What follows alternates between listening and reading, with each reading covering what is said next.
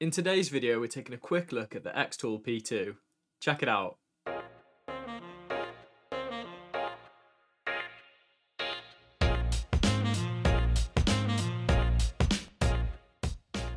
The Xtool P2 is a 55 watt desktop CO2 laser cutter designed for speed, precision and versatility. Using its laser, the P2 can cut through materials like 20mm of clear acrylic and up to 18mm of black walnut in just a single pass. It's got a top speed of 600 millisecond, a dual camera system, automatic range finding, and a whole bunch of optional attachments. This makes it Xtool's flagship laser engraver, but is it any good? I've been using the P2 for around about 6 months now, so I've got a pretty good idea of how well it works, what I like and what I don't like, but before we get into those things, I do just want to quickly point out, Xtool have also released the P2S, which is just an upgraded version of this P2. There's a few design changes, a few little improvements and tweaks, but ultimately it's very similar to the P2.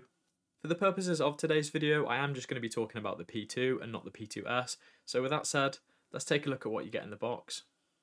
The P2 is an absolute unit and it comes in this giant box. As well as being really big, it's also really heavy, so I'd definitely recommend having someone help you just move the box to where you want it to be and also to unpackage the box.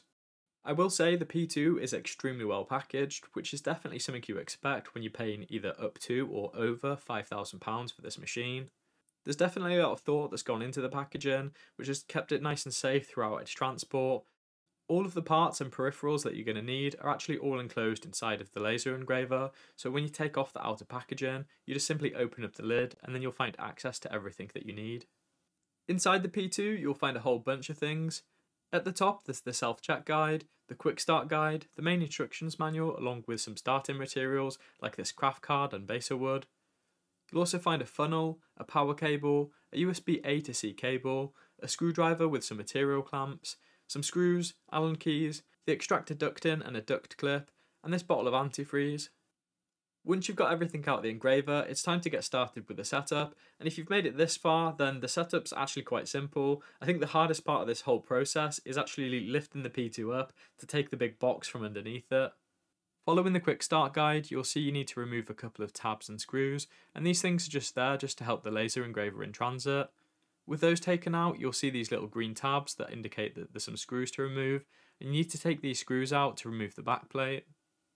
With those screws out, the backplate just pops off, revealing the laser tubing, and it's at this point you want to inspect that glass tubing, just to ensure that there's no visible signs of any damage, anything like cracks or little dinks in that tubing. You need to do this before you move on to the next step. The next step involves adding a measured amount of purified water into the P2's water reservoir, and you'll notice that in the whole unboxing process I never mentioned any purified water, and that's because you'll need to go and purchase this for yourself. For this, I just jumped on Amazon and had some delivered for next day. If you happen to live next to a hardware store or a garage, or potentially maybe something like Tesco's, did Tesco sell purified water? If you live near any of those things, those places should also have it. If in doubt though, Amazon's got it. With your water now acquired, you continue following the setup guide, which will just guide you through the process of mixing the water and antifreeze. The guide will indicate how much water and antifreeze you need to mix, if you need to mix them, and this is going to be different for everyone depending on the area that you're in, and also where your P2 is being stored. This actually might sound a bit difficult and complicated, but genuinely it's just follow the guide, pour the measured amount in, and you're good to go. The process involves pouring about half the measurement into the P2 and then turning it on, then after a few minutes, it's a case of turning the P2 off, pouring the rest in, and then repeating the process. Now that your water's done, you can turn the P2 back off, pop the backplate back on, and then just insert those screws that you initially took out. My P2 came bundled with the fire suppression system and also the basic smoke purifier, so if you have these, you can also add these on now. Some quick specs for the P2 then. It features a usable bed size of approximately 26 by 12 inches and supports both slats and the honeycomb panel. It's got a small LED screen which shows job time, the temperature, and also if the auto lock is engaged. By default, when a job starts, the auto lock engages so that the lid can't be opened whenever a job's running. The engraver features a 145 CFM exhaust fan, which can be pumped straight outside, or you can opt to make use of an inline fan and have it vent elsewhere, or you can attach a smoke purifier. There's an emergency stop button, a rear power switch, a physical job start button which also doubles up as a pause button, and if you double press it, it will also repeat whatever the last job was. This button also has a coloured LED ring around it which just indicates its state. The machine also has Wi-Fi connectivity as well as an Ethernet port and a USB-C port for physical connection. There are also some additional ports on the machine that are used for the fire suppression system and some of the additional accessories that you can get with this machine, but I'm not showcasing those in this video.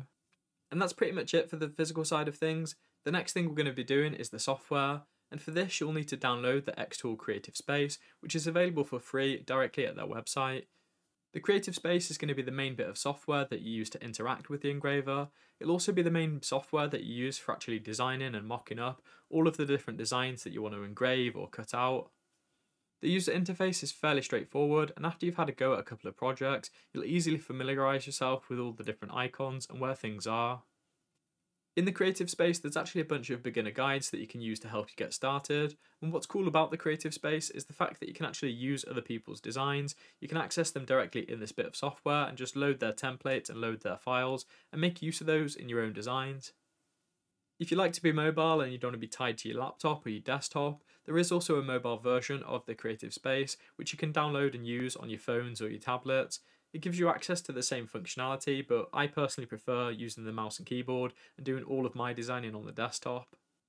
If using the creative space isn't your cup of tea, you do have the option of using Lightburn. However, if you do use Lightburn with this engraver, some of the main features and functionalities don't work as they're not supported in Lightburn. Things like the camera and the auto ranging, which are pretty much the main features of the P2, Although you can't use these features, you can manually adjust and manually set those settings, so you can use Lightburn to do everything, you're just losing those key features. In this particular video, I'm not delving too deep into projects and actually using the creative space, but if there's something that you'd like to see or something that you want to know, maybe in a future video, then do let me know in the comments. Some of the projects that I've been working on recently are things like designing custom keychains, custom fobs, coasters, a bit of acrylic work, and the biggest project that I'm doing at the minute is actually designing and setting up some of these little tambourines for one of my friend's weddings. Having a large desktop engraver makes projects like these mini tambourines an absolute breeze to run through. You can have multiple of them on the bed at the same time, and it's made easier by things like the batch production feature. Two of my favourite features with the P2 are ones that I've actually spoken about a couple of times in this video already, and it's the dual camera system and the auto ranging. The camera system's comprised of dual 16 megapixel cameras, both of the cameras are used with accurate positioning, batch processing, and real-time previews. The real-time previews are available to view inside of the creative space, and this gives you a nice still image of what's currently on the bed. The first camera captures a whole image of the bed, and the second camera can give you a more high definition image of an individual item. For me, I really love being able to actually see what's on the bed and actually be able to put my design on top of the item. I can kind of visualize what it's going to look like and I can really accurately line something up or put something really small in a set location. The LiDAR ranging system is the other feature I really like. What this one does is it makes use of the LiDAR and allows it to automatically calculate the thickness of a material. So when you place something on the bed, the LiDAR can automatically scan it and it can accurately work out how thick it is. Being able to do this and being able to do it accurately really does save you a lot of time. It also saves you grabbing out your calipers. Inside of the creative space, Xtool also provides you with a bunch of materials and a bunch of presets for different thicknesses. So when you combine these preset materials, the auto ranging and also the camera system, it makes it a really simplistic process for even beginners. Although the P2 does work really well, there's definitely some room for improvements. One of the improvements I'd like to see would be with the camera feed. With the camera feed, it'd be cool if you could toggle on a live feed, and you could use this live feed just to do some micro adjustments and move things around, and this saves you constantly having to take preview images and use the cameras to just take still images. Using that live feed, you'd be able to see the item moving around in the creative space, and it just really helps with those micro adjustments. You could probably also do some other cool things. You could do like a time lapse, or you could just preview the camera. Although I don't really know how enjoyable that would be to watch the tool head moving backwards and forwards and a laser, so maybe not that. the next improvement that I'd like to see would be to have the P2 detect any connected smoke purifiers. Doing this, the P2 could automatically turn on the smoke purifier if it's a particularly smoky material, or it could automatically adjust or turn it down based on how much smoke is being generated. I've actually automated this whole process for myself by making use of Home Assistant. Using Home Assistant, I can have my smoke purifier automatically turn on whenever it detects that the P2 is running, so it saves me just manually doing that and just makes my life a lot easier. With my time with the P2, I did also find one small bug. When you double press the start button to repeat the last job, the loading bar doesn't actually show you the remaining time, it just stays on the one bar flashing and it will do this until it completes, so the current bug doesn't actually show you the remaining time when it should. The final improvement that I'd like to see with the P2 would be to upgrade the internal extractors. The base extractor that's on it is quite weak and you probably do want to make it a little bit more powerful, and this has kind of been voided by the whole P2S because the P2S does have upgraded extractors. So if you want an upgraded external extractor, then uh, check out the P2S. For me, the P2 meets my needs. It offers a versatile range of features that work with various materials, and there's plenty of attachment options if you wanted to expand its capabilities further. It's definitely going to be a machine that sticks around in my workshop for a while. And there we go guys, that's been a quick look at the Xtool P2. Even with all the points that I've mentioned today, this is only just scratching the surface of the features and functionality that this machine has, so I will be back with some other videos, just showcasing these a little bit more. If you've enjoyed this video and found it useful, then don't forget to drop me a like, and if you're not already, hit that subscribe button and ding dong the notification bell and you'll be alerted to any future video that I do. As always, a massive thank you to these awesome dudes. These awesome dudes are my patrons and also my YouTube members, and if you're interested in helping support my channel, which in turn allows me to create content like this, then you'll find links to all the places that you can go to support me, all in the description below. Thank you for watching, and I'll catch you in the next one. Cheers.